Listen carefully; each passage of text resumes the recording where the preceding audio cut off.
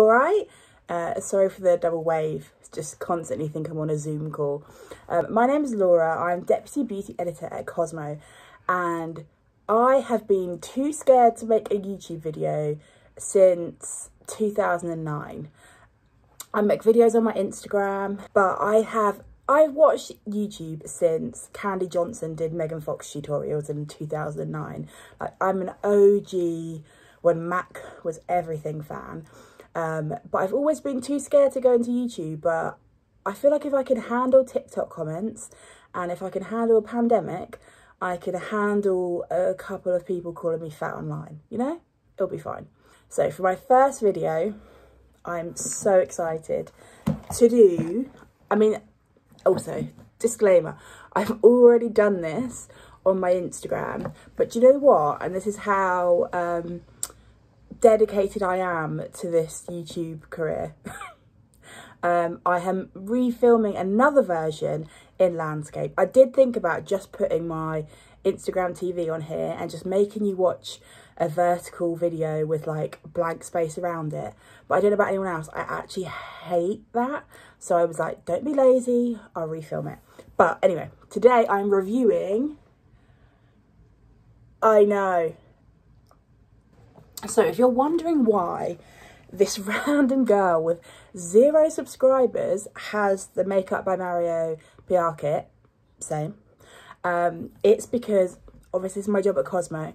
Um, I did a feature with Mario. I've met him on a few occasions at press events and different launches and um, but I'd never met him for him to like to properly have like time with him. And then last year I did a feature with him and it was a profile just on him and his work and he did my makeup for it and um, I'm not going to go into too much detail here because I rave about Mario so much. I'm worried he's going to get a restraining order out, out against me. Um, but he is just the sweetest, most genuine, kind man. And I just want people to know that because um, I've met a lot of people through my job and they don't always end up how you think. They're very different online to how they are in real life. Straight up, um, I know when this launched and it said Sephora exclusive, it was like my heart shattered into a trillion pieces. But it ships to the UK from his website um, and I already know some people that have shipped already. And I think there's no shipping charges at the moment. So um, definitely you can get your hands on it if you're in the UK. His first um, launch, he's focused all on the eyes. And I know he said that's because that's the part of makeup he does first. So I have done my base and I'll show you what I've used. So for foundation, I'm wearing the new Chanel Les Beiges um, Healthy Glow Foundation. Um, I know they had a version before, but this is the new one that just launched in September.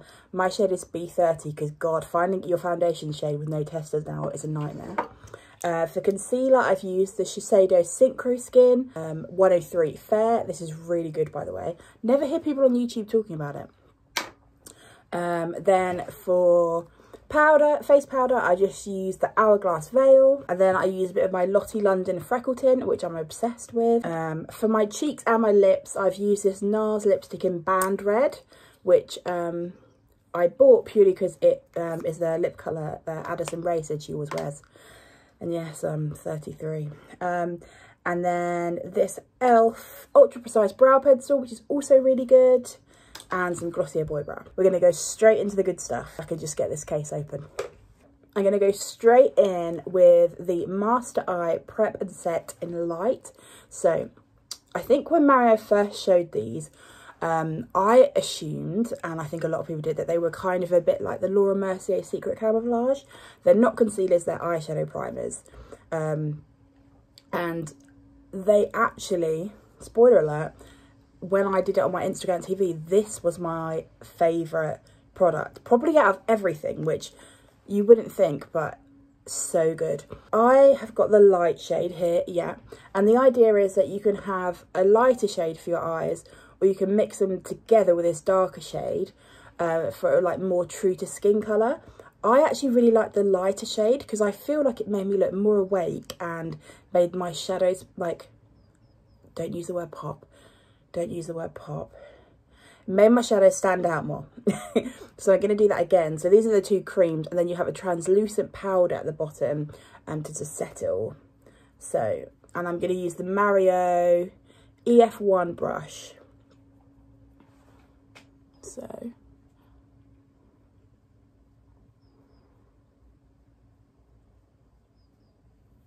I'll do one eye first so you can see.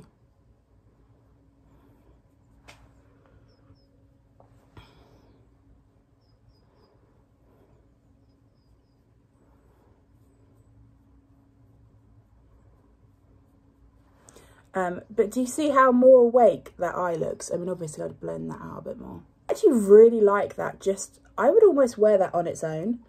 Um, so that's just your primer. I'm just going to do the other eye. Now we're just going to set with a translucent powder and flip the brush. I know Mario said also in his video, if you're using um, a matte eyeshadow, you don't need to do this step, but I just did it um, and it worked really well for me last time.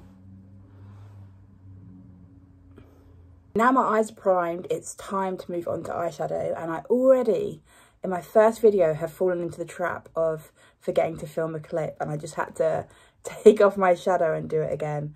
At least I didn't complain about being ill for the first 10 minutes, okay? And the matte one is honestly like my dream everyday eyeshadow palette. I know that you might think, oh, that's a bit boring, but honestly, this I would get the most use out use out of. Um, my favourite ever eyeshadow palette is discontinued. It's by Tom Ford Coco Mirage. And that is just a quad of four brown mattes. So imagine my joy at having like the extended version of that. This would work for every skin tone. It's just beautiful and it's such a makeup artist palette because from watching Mario work, he doesn't use that many products. He mixes, uses a lot of pro brands and pro brands will always have like a palette of mattes. You know, you've got to remember that he isn't like a makeup consumer in the way that we are. So I love this. Shimmer one looks like this. I might include um, a video I took of it because in the sunlight it is beautiful.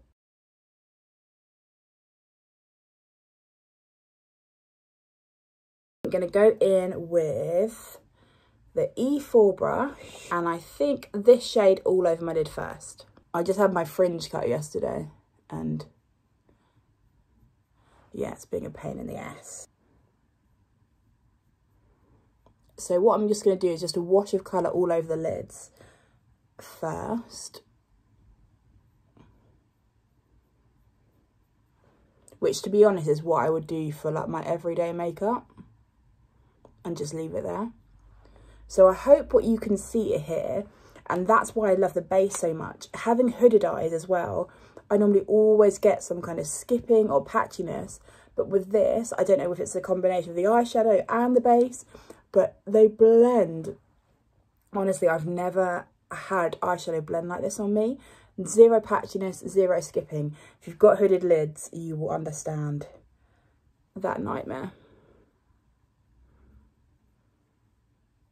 Okay, all over colour on. I'm going to go in with the smaller E5 brush and this, what one? This middle colour here, this kind of nice warm brown. And I like to elongate my eyes. I have quite round eyes and I like to kind of make them a bit more like Angelina Jolie-ish.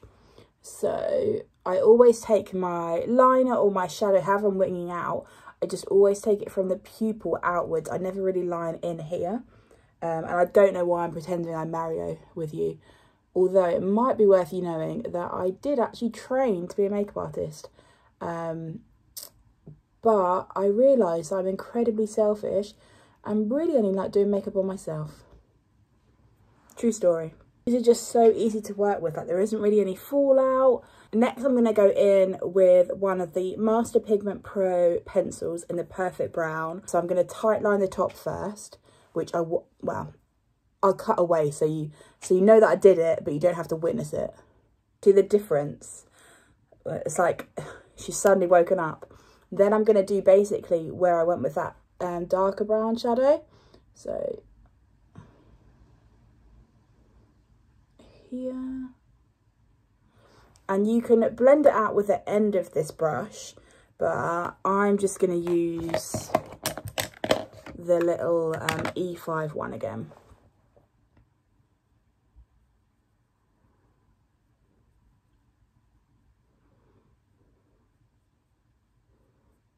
What I really like is you're able to smoke these out, but they don't blend out completely. Some eyeliners, I find that once you start trying to blend them, they just disappear. But that, as you can see, is still very much there.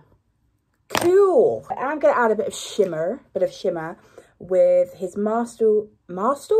His master, oh my god, his master crystal reflectors. Three shades. This is citrine. This is quartz. This is bronzite, which as you can tell is my favourite. Um, they work best. Mario said it, and I agree. They work as if I'm like, and I agree with you. uh, they work best with your finger. They're kind of that weird, like cream. Are they a cream? Are they a powder vibe? Like a bit Colourpop. Um, and again, you won't be see, but they just have this beautiful wet look. So I'm just going to add that to the middle of my lid. If I lived in a country with sunlight, um, you could see more.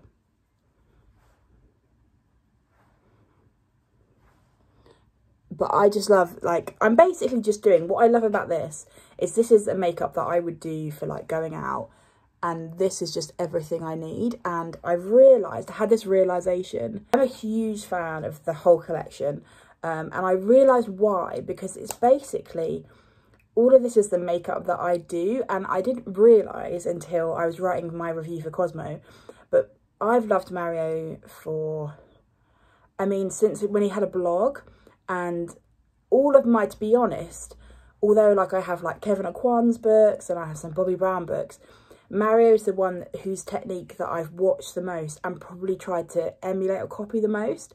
So my, the makeup that I love is essentially his makeup. So this is like all of my dream products, but created by like my dream makeup artist. I feel like makeup has become so um, gimmicky and this is a collection of like proper makeup. Highlighter, so it's his Master Secret Glow in the shade Expensive.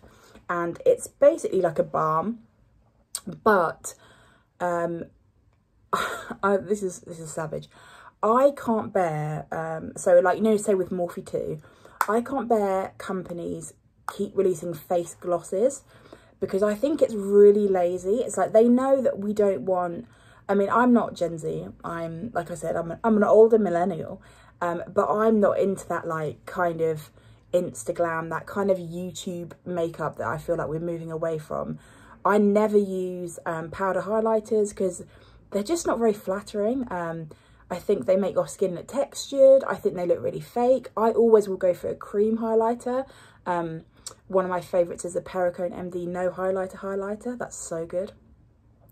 So it annoys me when these brands know that we don't want that anymore and they just give us a face gloss. And I'm just like, it's not the same. Like a face gloss is too sticky um, and it just breaks everything down. So I was a bit alarmed. I was like, oh, not another face gloss. But this isn't. And he did, he's done lots of mini tutorials on his page and he kind of acknowledged and explained that. So it's way less, there's obviously some tack to it, but it's not, I wouldn't call it a gloss. Um, and on the skin, it kind of does, there's still a little bit, like I know my friends that love matte wouldn't be into this, but for me, it's way, um, I don't have that fear that my makeup is going to slide off and it doesn't break your makeup down. So I'm just going to pat it in. And I really hope you'll be able to see it because I've just got no light here. I'll try and take it a bit further.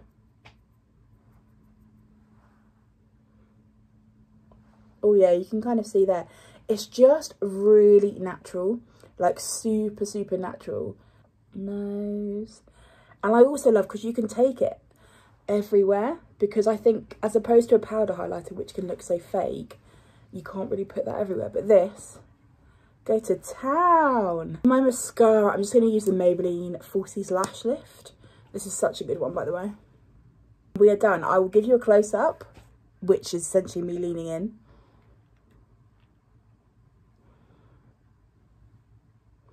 But I really do love it. I think if you're a Mario fan and a real makeup lover of just, I think really good like basics, this is so good. My two favourites by far would have to be the um, Master Prep and Prime and the Matte palette. They're definitely my two favourites, swiftly followed by the highlighter. But thank you so much. Um, if you're not too horrible, I'll be back with another video. Um, fingers crossed.